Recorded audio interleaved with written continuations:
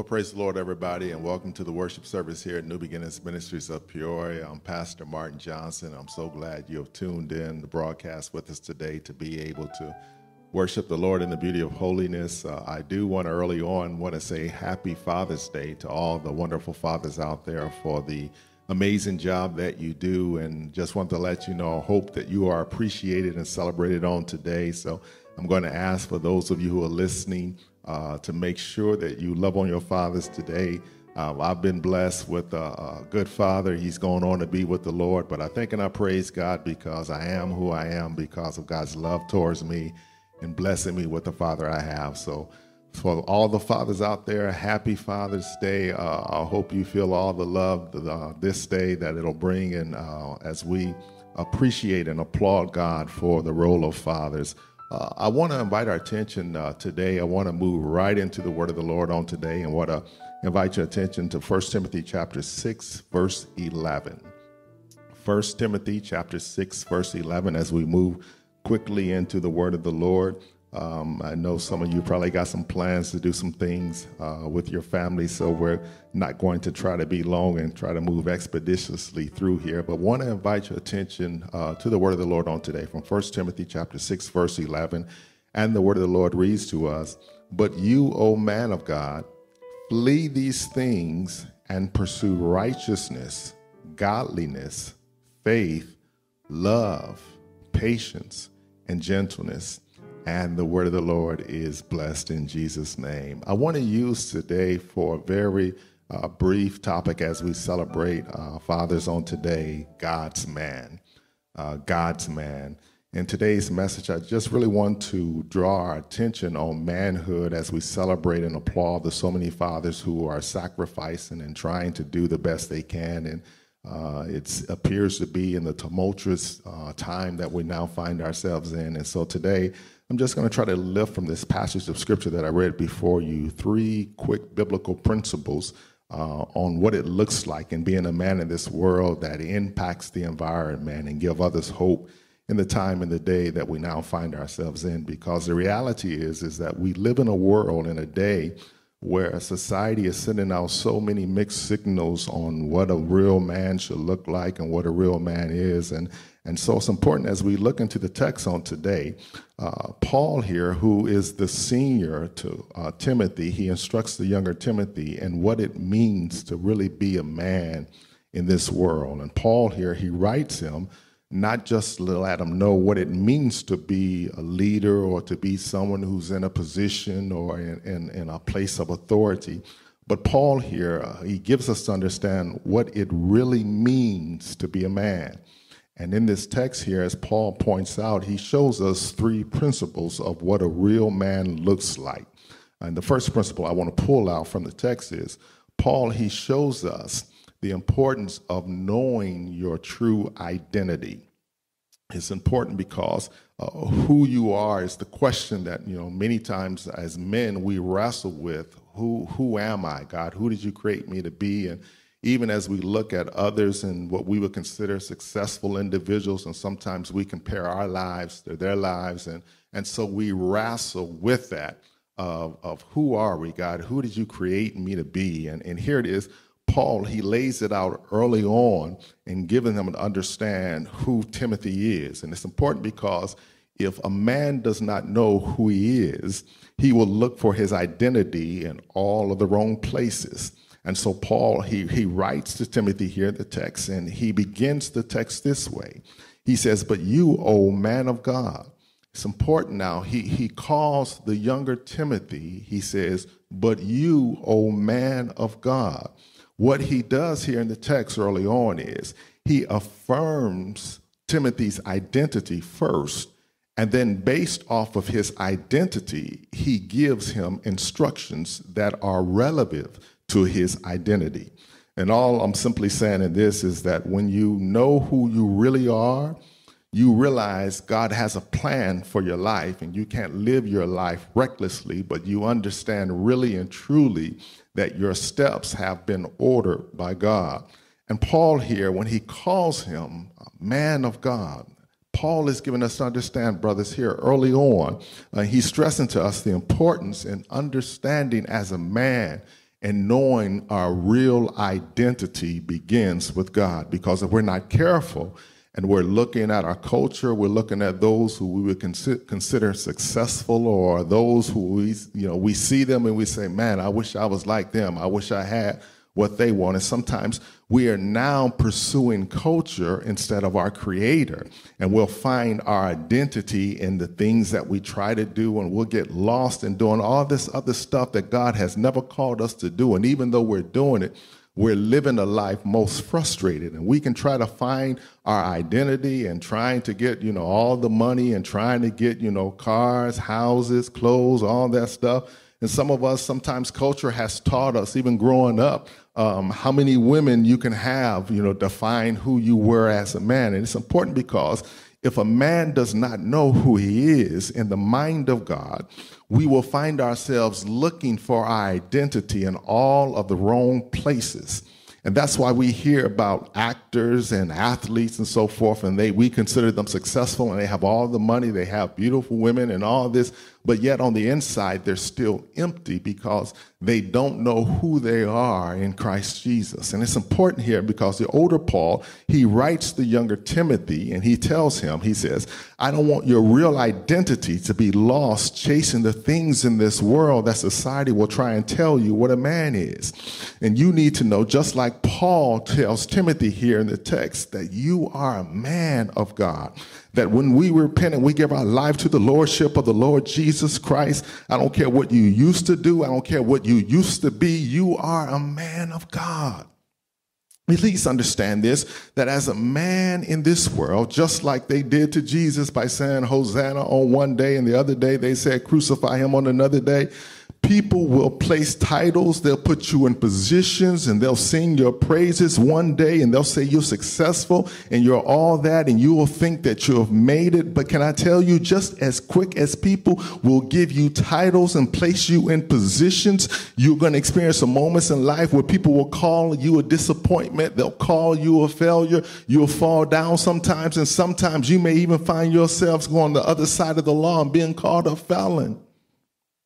And I don't care what your past may look like. I don't care how many degrees you've got. I don't care how many times you've fallen down and you get back up. The good news for us is that in spite of all the good, the bad, the ugly that you and I will go through in life, there is a God who still loves us, flaws and all, and he has a plan for our lives. And Paul here, he wants you to understand that you have to know where your real identity comes from. And it comes from God in a time and a day, and everybody's trying to get us to go on that side and this side and trying to put an identity on us. As men, we have to know who we are. It's important because uh, when, when, when, when Paul here, he wants us to understand that you have to know where your identity comes from because if we put all of our life into our job and then our job lets us go, what are we going to do as men? What are we going to do? Would we give everything to the one that we thought that we were going to marry and it didn't work out? What do we do as man? And I want you to know that when you know who you are and you know whose you are and you know your real true identity begins in God, then I walk with the revelation that God has a plan for my life. And God, He can take all of your present flaws, all of your past failures, and He can use it to make you stronger, to make you wiser, to make you better because you're God's property. You're God's man. There are gonna be some days where we're gonna have to take some L's. For those of you who know the Bible, you know the scripture says God rains on the just as well as the unjust. And there are going to be some days, brothers, that we're going to suffer some losses in this world. And when you remember that you're God's man, it's going to help you get back up, even though you're falling down and you don't think you can get back up. But when you know who you are and whose you are, God gives us something on the inside that makes us get back up. The wise man Solomon said it this way in Proverbs chapter 24, verse 16. He says, For a righteous man shall fall seven times and rise again, but the wicked shall fall by calamity. Okay, if you didn't get it like that, I'm going to give you the message translation. You can understand this. The message translation said it this way. He says, no matter how many times you trip them up, God loyal people don't stay down long. Soon they're up on their feet while the wicked end up flat on their faces. Brothers, you just need to look at your current situation, whatever it is that you're going through. And sometimes you need to speak a word over yourself and you need to prophesy to yourself and say, God created you to get back up in Him.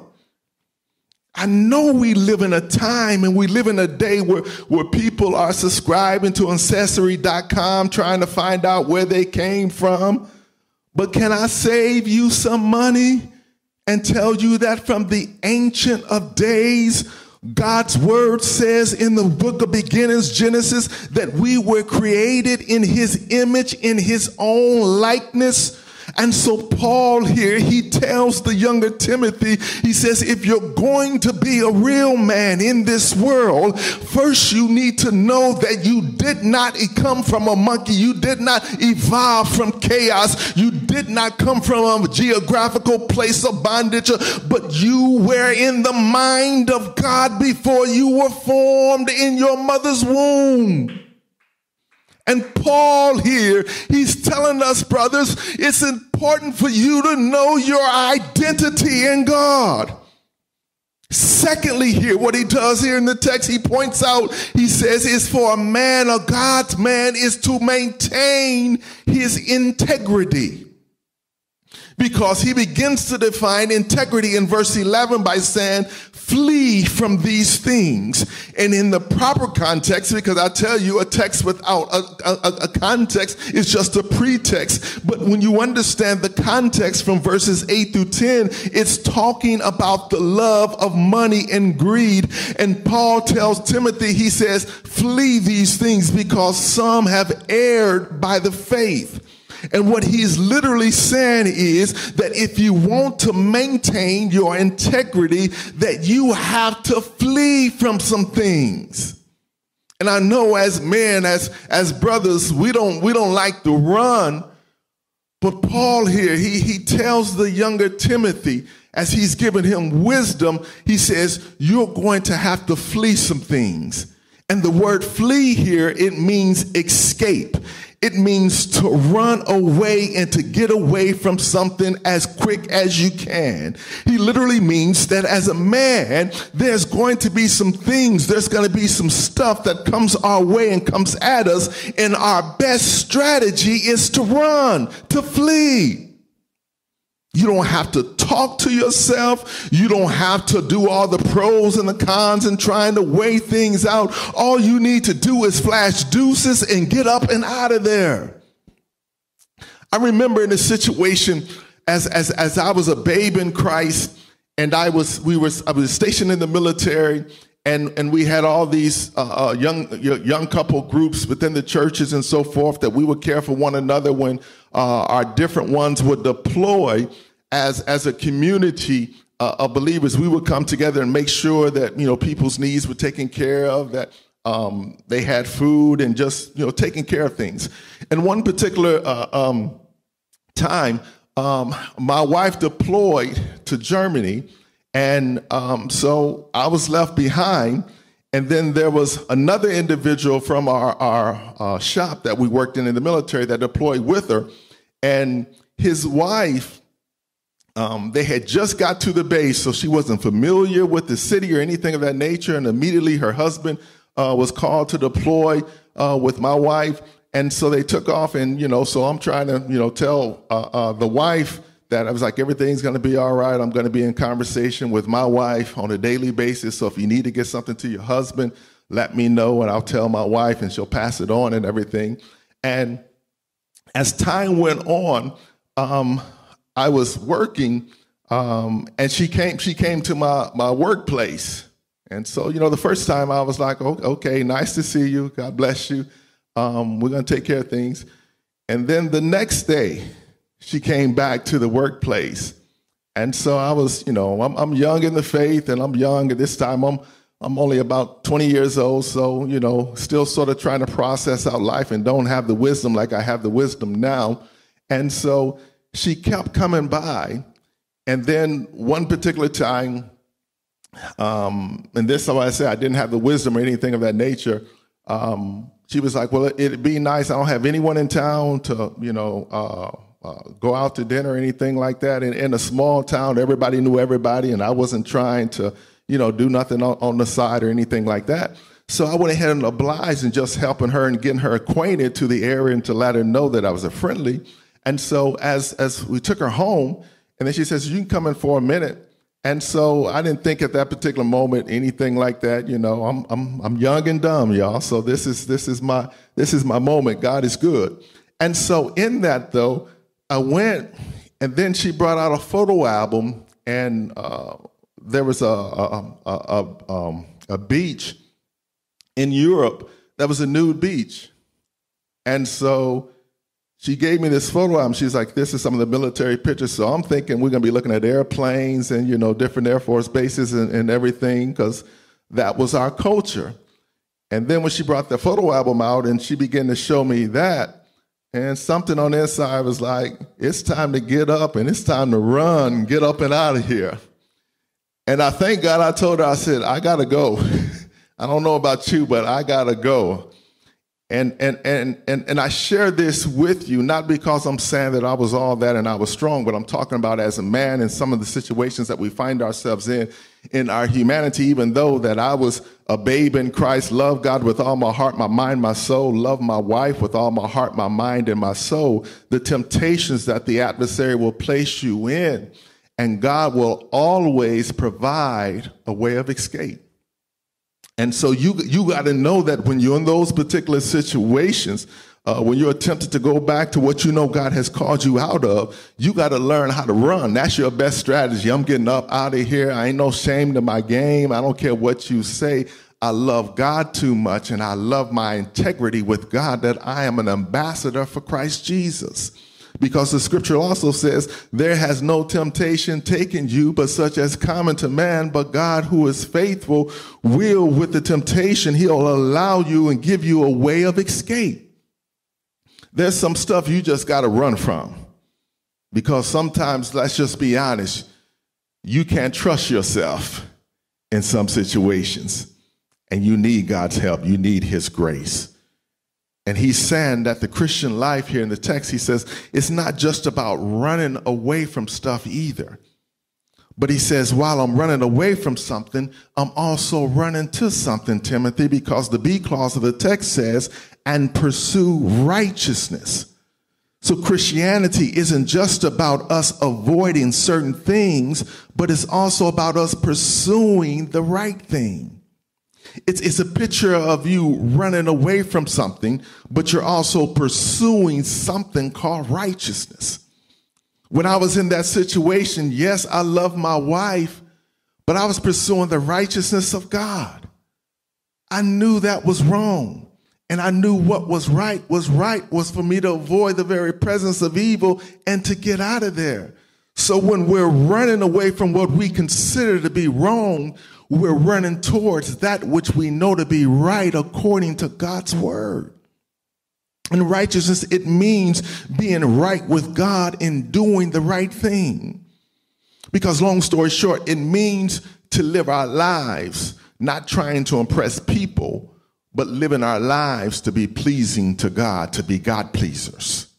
And so, literally, he's saying to us, he says, I want you to know your true, your real, your genuine identity. I want your life, secondly, to be a life of integrity. And last but not least, he says, I want you to live a godly life. Because he says, follow after godliness.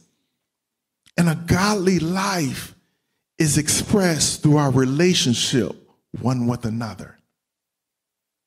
I often say, I can tell how my vertical relationship is with God, how I interact with one another on a horizontal level. And whenever my vertical relationship is off, normally it's going to offset my horizontal relationships. So, how I treat folks is an indicator of how my relationship is with God. And it's important because in our lives as men, where we can live out our God given lives, there are two areas that I want to talk about, and then I'll be right out of your way. The first one is it's our relationship with women. Because for a long time, there's a teaching that seems to elevate men over women. And scripture doesn't teach that men are better than women. But on the other side, scripture teaches us that we are all equal before God and we are valuable before God. We all have unique roles that we're both valuable to God and we are created in his image. And so, how I treat my wife, how I treat sisters, how I treat women, it speaks volumes about my relationship with God as a man. And I have to, you have to treat women with respect. Government is trying to legislate what's right, and what they're really looking for are godly men who would rise up and live out what God has called us to be. Godly men don't disrespect women by calling them out of their names and dishonoring them. When you look from the very beginning of time and going back even to our identity, our integrity, and now pursuing the righteousness of God, what it looks like in living a godly life in Genesis, God puts the man Adam to sleep and he pulls out of Adam a bone, a rib. And he forms woman and he brings Eve to Adam and Adam says, This is now bone of my bones, flesh of my flesh. She should be called woman because she was taken out of man. And you know the story for the sake of time as they go on that they are married and God ordains the institution of marriage between Adam and Eve. And so when we talk about being God's man and being a man of honor, a man of integrity, Every man must understand that marriage is honorable. We're living in a time and a day where marriage is on the decline. And the thought is because of our culture, just, just get as many as you can get. And then when you get tired, go ahead and tie the knot. It's sad, it's pitiful because we have not raised up young men to understand that when you're dating, you look for that one that you can be committed to for the rest of your days of your life. Scripture says, He that finds a wife finds a good thing, and he obtains favor of the Lord. When you find her, you, you, you make a commitment that you're going to love her, you're going to serve her, you're going to spend the rest of your life with her till death do you part.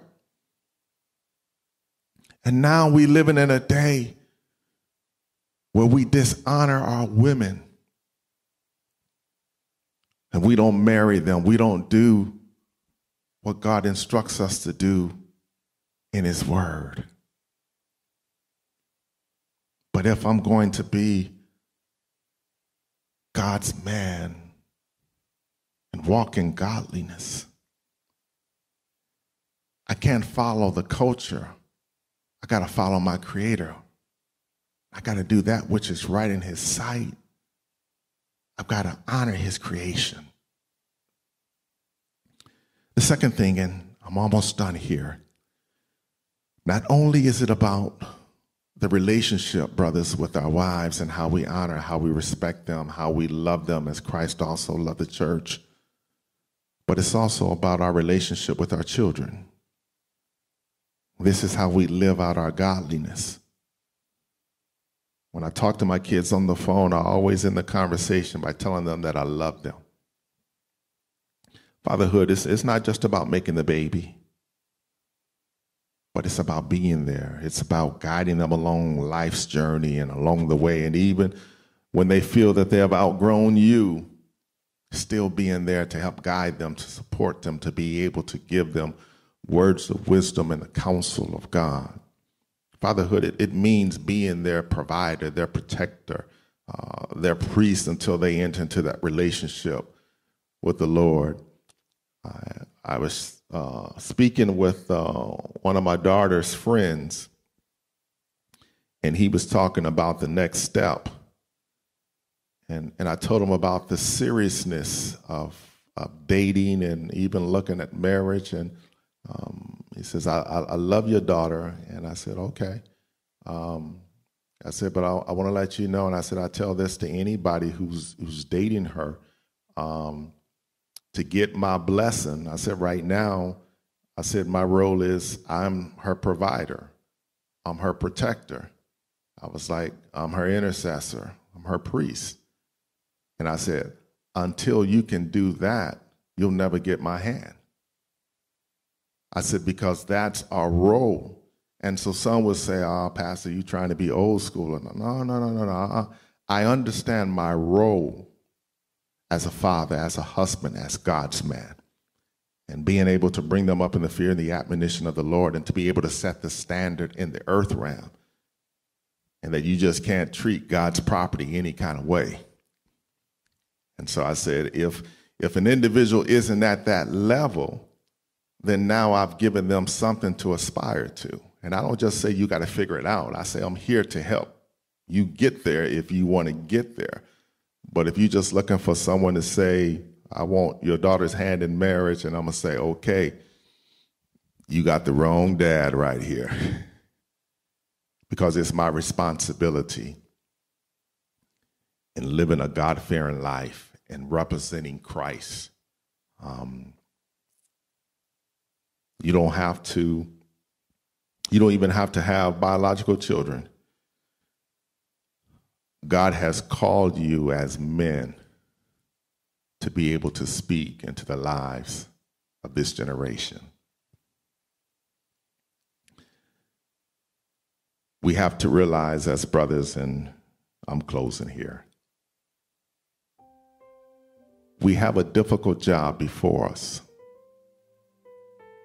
but God's hand is on us. We're all works in progress. And we need the grace and the strength of God every single day. Uh, I'll be the first one to admit we don't have all this figured out, but we're doing the best that we know how with the help of God.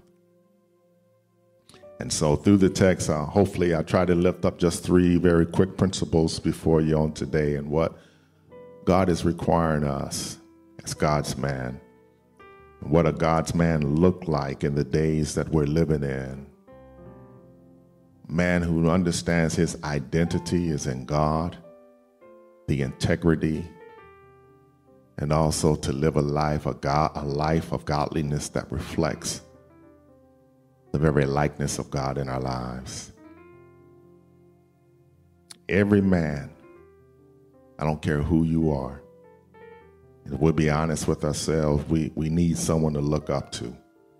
As a pastor, I have another pastor that speaks in my life, a spiritual father. I remember as a kid growing up, I, I looked up to Magic Johnson and Michael Jordan, um, not only because they were great basketball players, but we all share the same initials, MJ. And a couple of weeks ago, during the uh, the sports drought that we experienced with this whole uh, coronavirus, we all had the opportunity of watching The Last Dance with Michael Jordan, the GOAT. But today I want to encourage every man that's listening today to look to the ultimate GOAT, and that's Jesus Christ.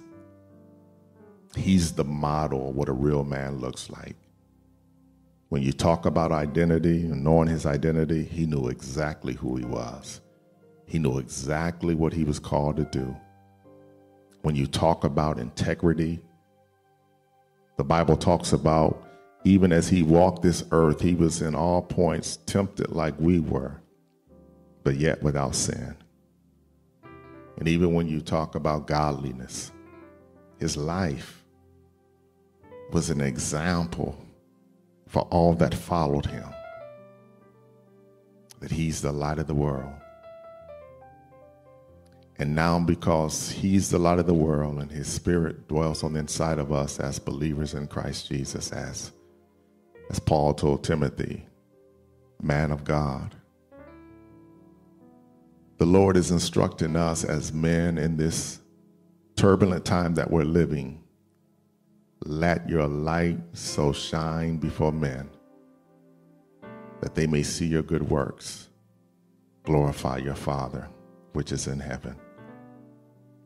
It's important.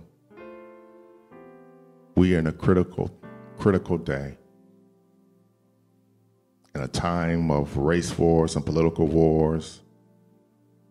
And as men, we're being challenged to take sides and to stand up, to speak out. I don't know about you. I'm not minimizing the things that are going on in our world or even uh, the part that we play, but I want to be God's man. I want my identity to be found in Christ Jesus. That I'm not taking sides, but I'm understanding I'm a kingdom man. That we have been called to the kingdom for such a time as this not to represent the world, not even to represent our culture, but to represent Jesus Christ. So I challenge you, my brothers. If you're looking for a man, Jesus is the man. Father, thank you and I praise you for this moment in time to allow us to be able to articulate your heartbeat to these men, Father, and just to encourage them and to Speak to their hearts, Father, and what you have called us to in this particular time that we're living. I pray even now, God, that you allow them to be the father of their house that they need to be, that God, you will give them the strength even to be the man of God that you've called them to be in their homes. Pray that you would give them the compassion, the patience, even to be the husbands and the fathers that you have called them to be, Father. And I pray that even as life has bounced them around, pray, Father, give them the tenacity, Father, to get back up again in you, Father, and to do the things that you have called them to do, Father. Keep their hearts encouraged even now, Father. Allow their hearts to be in alignment with your will in this time and this day. That we would be your man, God's man. We ask it even now in Jesus' name. Amen and amen. God bless you. We pray that the word of the Lord has blessed you. We love you, and we look forward to seeing you again next time.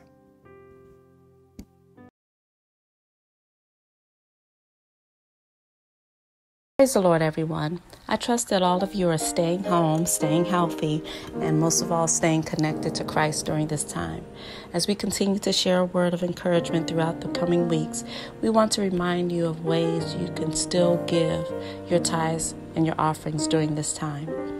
As many of you may know, we have still been able to be a blessing to our community during this time, and it's because of your continued faithful giving. Remember, the Word of God tells us, Give and it shall be given unto you, a good measure, pressed down, shaken together, and running over, will be poured into your lap.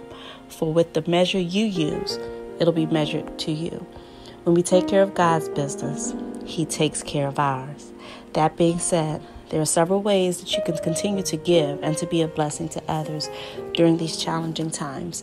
We still have our online giving. You can go to our website at www.nbministries.net and click on Give. You can also text it. You can text to give. Just send the amount that you would like to contribute. If it's $10, $25, $50, you would just put that amount in with the dollar sign 25.00 as in $25, to number 309 455 4267. That number again, send the amount to 309 455 4267. It will then send you a link and prompt you to follow the instructions to allow you to set up to be easier the next time you try to text to give. You can also download our app, NBMOP.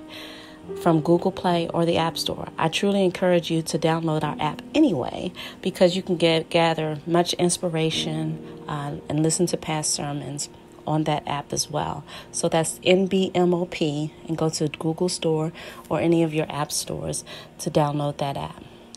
And then you can go old school, snail mail. You can mail that donation to NBMOP, New Beginnings Ministries of Peoria. Make sure you make it attention to financial finance department. That's 3201 Northeast Madison Avenue, Peoria, Illinois 61603. That's 3201 Northeast Madison Avenue, Peoria, Illinois 61603. And let me remind you, please do not send cash. This is our prayer for you on this day. May the Lord bless you and protect you. May the Lord smile on you and be gracious to you. May the Lord show you his favor and give you his peace. May God bless you. Amen.